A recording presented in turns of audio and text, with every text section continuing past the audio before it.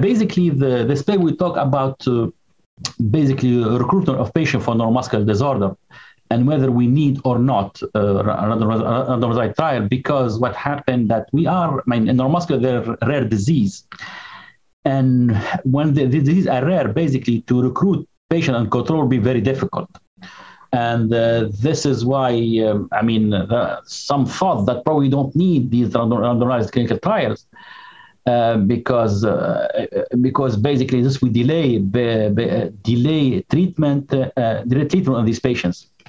Um, and I have a long discussion with John about that. We have different opinion, and we basically um, we probably we need these trials because what happens sometimes using drugs or procedure thinking they do well. As a matter of fact, probably the long term and the safety of these, especially the long term, the safety of this procedure could be, or these drugs could be basically minimal or could be could be not perfect, but could not have could not be effective.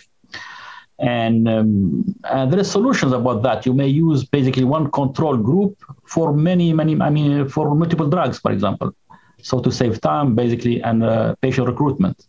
Uh, but, uh, but again, I, am convinced that uh, control, control trials are needed and that avoid the bias of subjective, basically, um, assessment of these patients.